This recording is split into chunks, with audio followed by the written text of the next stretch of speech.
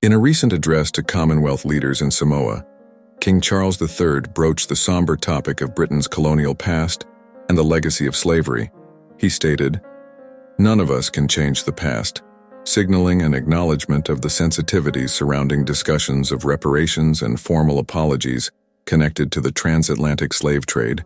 Despite the weightiness of the subject, the king operates under the limitations set by government policy, which clearly indicates that no apologies or reparations will be entertained during the summit.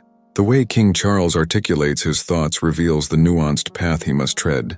His expressions of sorrow resonate with the historical context of political leaders, such as former Prime Minister Tony Blair, who similarly spun a narrative of deep sorrow and regret without crossing the line into outright admissions of liability.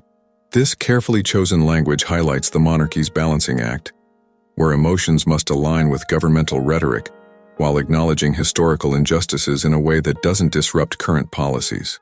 The monarchy's intricate ties to the history of slavery reveal a legacy marred with contradiction. The Royal African Company, initiated in the 17th century under the royal banner, played a significant role in the slave trade, yet historical narratives illustrate a fractured royal family during the abolitionist movement, with some members passionately advocating against slavery, while others staunchly defended it. This duality underscores the complexities within the monarchy's historical relationship with slavery, creating a tapestry of conflicting moral standpoints. Compared to King Charles's cautious demeanor, monarchs from other nations, such as the Dutch king, have openly issued formal apologies for their country's roles in slavery.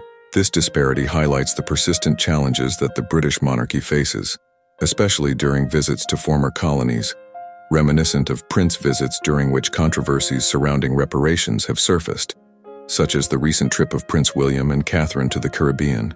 During his Samoa address, King Charles underscored the necessity of learning from the past to tackle ongoing inequalities.